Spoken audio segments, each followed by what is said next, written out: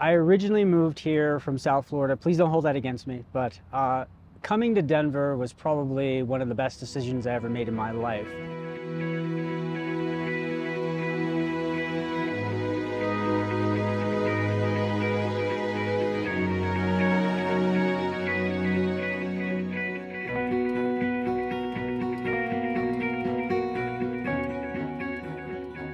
Hi, my name is Joshua Caraballo. I'm an industrial organizational psychologist. What I love to do is dive deep into humanity, uh, human behavior, studying it, understanding it, and helping people to do what's best in their life in order for them to flourish. And I do this through obviously science, but also through the arts.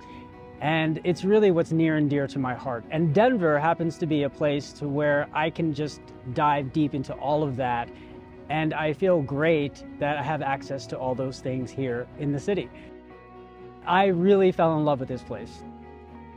Denver has given me so much. Um, I met my partner here, and ever since I moved here, it's just been one thing after another that has kind of fed my soul, if you will. Uh, from the public parks to theater, the arts, I mean, you name it, the, the food, restaurants, the, the people, well, not so much the driving, it, you know, that's, that's okay.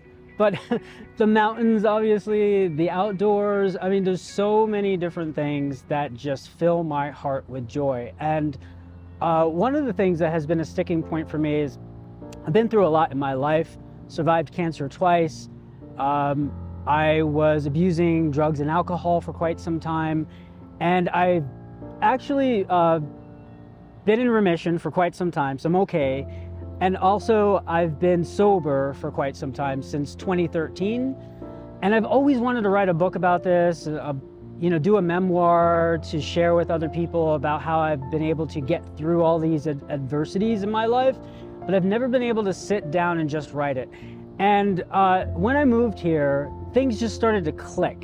And I know it's not just Denver, but Denver, in my mind, was a big part of this actually happening.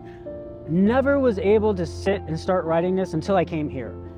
It's about just me coming to terms and being in a place in my life to where I can be really appreciative of all the things around me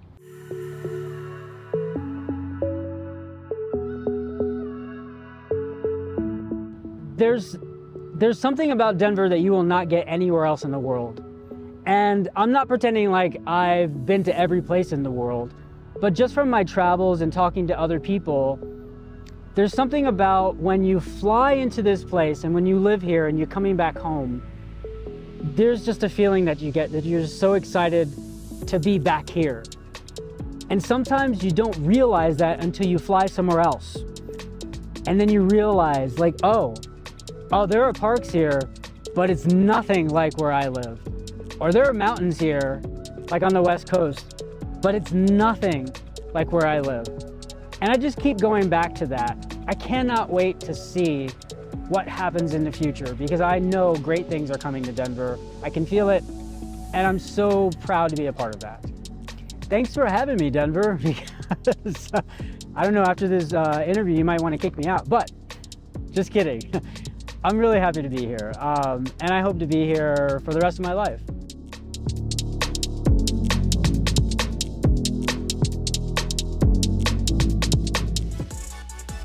Stay elevated by subscribing to the city's YouTube page and stay tuned to our social media channels for more content.